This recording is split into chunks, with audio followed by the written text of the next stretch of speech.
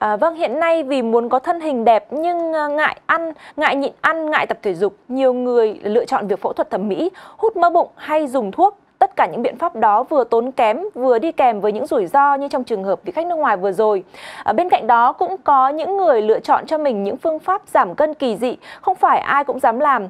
Mới đây một người đàn ông ở Anh cho biết ông đã giảm được 50 kg bằng cách uống nước tiểu của chính mình trong suốt 6 năm trời. My morning routine is basically Dave Murphy, 54 tuổi, sống tại Exen. Anh cho biết đã uống nước tiểu của chính mình vào mỗi sáng và thoa nó lên da mặt bởi ông tin rằng chúng có lợi cho cơ thể. Hơn nữa, ông còn sử dụng nước tiểu để tắm. Ông bắt đầu liệu pháp của mình vào tháng 5 năm 2011 sau khi đến tham dự một hội nghị về việc sử dụng nước tiểu. Thời gian đầu, ông Dave cho biết ông đã phải cho nước tiểu vào tủ lạnh cho mát hoặc hòa với nước trái cây để dễ uống hơn. Dần dần, ông đã tập được thói quen uống nước tiểu khi vẫn còn ấm. Ông này khẳng định sau 6 năm đã giảm được 50 kg và khỏi bệnh hen suyễn nhờ thói quen này. Ngoài ra, người đàn ông 54 tuổi này còn sử dụng nước tiểu để dưỡng ẩm cho da mặt và tắm rửa. Ông tin rằng nước tiểu là một sản phẩm dưỡng ẩm tuyệt vời, ngăn ngừa lão hóa.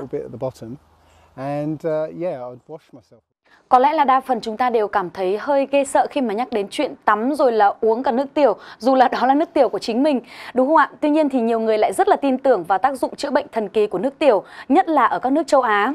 Thậm chí thì có một nghiên cứu còn cho rằng là hơn 3 triệu người Trung Quốc thì đã uống nước tiểu của chính mình để chữa bệnh.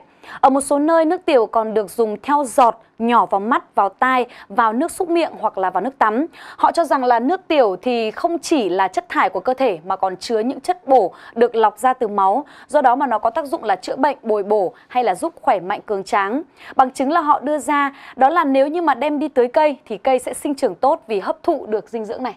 Ờ, vâng, nghe thì cũng có vẻ như là có lý. Ngay tại Việt Nam ở nhiều địa phương thì không ít người ờ, coi nước tiểu, nhất là nước tiểu của bé trai như một vị thuốc thần kỳ, có thể chữa được bách bệnh từ cảm sốt, trúng gió đến đau xương khớp, thậm chí là ung thư giai đoạn cuối.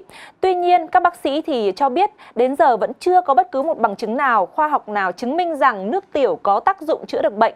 Ngược lại, uống nước tiểu làm tăng nguy cơ nhiễm bệnh tật hơn nữa. Nước tiểu vốn có nồng độ muối rất là cao nên uống chúng không khác gì uống nước muối.